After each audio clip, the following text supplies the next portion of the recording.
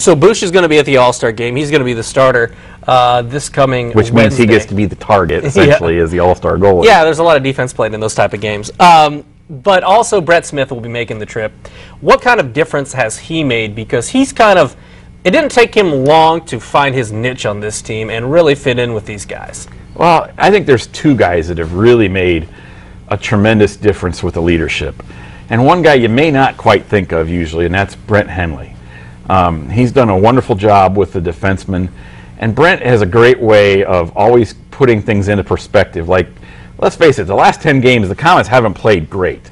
They've won some. They've won more than their share because they've outscored teams, but they have not played very well defensively, and that's as a team thing, not necessarily just the defense. They've given up a lot of breakaways, and and Brent will be the first guy to say, you know, we got to tighten that up right now, even if even while they're winning, and and Smitty has done a really good job with some of that too. Um, Smitty just he's got one speed. And it's like that's what scored the game-winning goal yesterday. Is he just hustled his butt off to get to the puck before the the defenseman did, and he heard you know Bobby Chaumont coming from behind, and was able to whip the pass out front to him. Um, I think Brett, having been a captain of a championship team, you've got two guys there right now who've been captains of championship teams with him and and Colin Chaulk, and it just makes a tremendous difference because you know, Colin may say, say say something one way, and then Brett can say the same thing in a different way. So maybe if a guy didn't quite get it from one way, or if he didn't understand what Al was talking about, he can feel comfortable going to any of those three guys, or Kaylee, or Nick, or anybody, and asking and saying, okay, what if I got this right? You know, and and there's a lot of communication on this team that wasn't quite there as much last year. As far as this team goes on special teams, I mentioned earlier, number one in the league. I should have quantified. Number one in the league in terms of power play. They're converting just a shade over 25%. You mentioned it's even better on the road. It's like 29 or something. It's ridiculous. What what is it about this power play that has allowed these guys to be that successful? Okay, they changed the power play. It used to be you had the two guys up top and then the three guys down low cycling. Well, they changed the power play to more of an umbrella. You've got Colin Chaulk on one side on the left wing, you've got Frankie DeAndres up top, you've got Jamie Milam on the side. And basically what they do is you rotate Bobby Chaumont and Jesse Bennefield and those guys down low, so there's always somebody in front sliding to the high slot and then Colin can work down or Jamie can work down, and you're basically overloading the zones. You've got four guys there. You've got to keep one guy up top on a penalty kill. So you've got four on three down low because you've isolated it, and that creates a lot of uh, shots in the slot for guys like Bobby and Jesse and Kaylee's been getting some shots there too.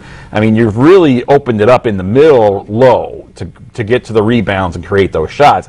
And if it doesn't work, you still got Frankie and Jamie up high blasting away, but you've also got guys in front now creating distractions. You know, Henley's a big guy, a guy that looks like he can throw down. The, the folks always want to talk about fights. Sure. But, and this team has over six, 606 penalty minutes, over 600 penalty minutes right now. But it's not been an overly, Nobody wants to mess yeah, with it's not been an overly Right. physical season in terms of the number of fights that we've seen, uh, harkening back to the, the McMillan, Morasti, those kind of guys. I think the Komets actually lead the league in that, though. I didn't know that. They did it as of a couple weeks ago. They had the most majors. Really? Yeah. That surprises me. That's Yeah. a stat I did not look up. but you know, you notice like the Evansville game a couple weeks ago, where uh, Schrock went after McWay and Henley went after Soroy, and you know, I mean, what's interesting is you've got getting Brent Henley allowed everybody else to slot down to face more of their weight class, essentially. So you got the super heavyweight big brother in Brent. And he is big brother too. I mean, it's like you know, Kaylee can say hey, to Mike Soroy, "Hey, check out Big Brother. He'd like to talk to you for a second, you know, and he doesn't have to worry about it.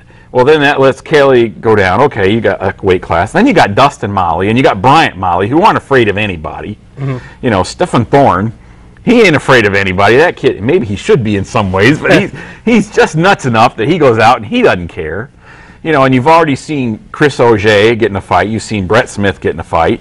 You've seen pretty much everybody at one time or another Bennefield. go at it. Oh yeah, Benny too. You know, Chalker. You know, he went after Lindbergh that game. You know, I mean, everybody there. That's part of the tightness of this team.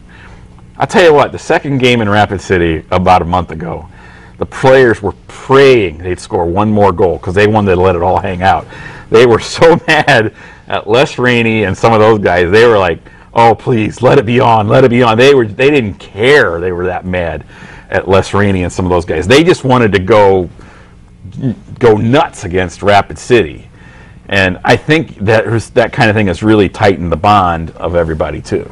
As we head into the second half of the season, what are you looking to see from this team to know that it's not going to be a case of black and white in the first half and the second half? What do they need to do to keep it up? Well, I think the biggest thing I've noticed this year is that when Al Sims makes adjustments, they all follow it. And that's Chalker, that's Smitty, and that's Henley reinforcing all of that. So I don't think you're going to see any major slumps. Like the guys talked about a week or so ago, they knew it was going to end. They knew that they were they were due for a bad slide. But they were ready to use that as an example of how to teach to get it back to where it needed to be. And I thought that was amazing because they could have jumped on the guys then, but they knew that it wouldn't be as successful because you're winning and you kind of blow stuff off and but they were kind of looking forward to having a couple losses in a way because they knew that whatever they had to say would be much more effective and much more listened to by everybody once they had that happen. That's what happened last week.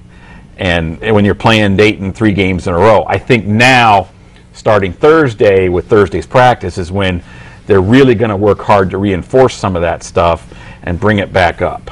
The other thing is, they have had injuries. They haven't had a major injury. They haven't had Chaulk go out. They haven't had mm-hmm. Smith go out. They haven't had Nick go out. But it's been really, really fun to watch how Tom Mealy has come in and filled in. And David Steranke, I thought he had a good game yesterday. And I think he's going to get better with more playing time. It's really fun to watch how these kids seem to take the opportunity to step up more and do a little bit more. And, you know, I mean, Stefan Thorne has been a really great surprise I mean, he, we're learning half of what he can do so far when they're using him on the penalty kill. Who knew he could play? He could kill penalties. I mean, really, nobody had a clue that kid could kill penalties. I think he's got two shorthanded goals. I mean, there's all kinds of things that some of these kids can do that we don't know about yet, like J.M. Rizk. That kid has no idea how good he's going to be. Right. You know, I mean, it's fun to watch these kids get better and keep progressing, and they have so far. I can't wait to see how they are you know, towards the end of the season and, and what they're going to be able to figure out they can do. All right, it should be a very interesting second half of the season and couldn't get much better than the first half we've already had. For Blake Sebring, I'm Glenn Marini. We'll see you again next week.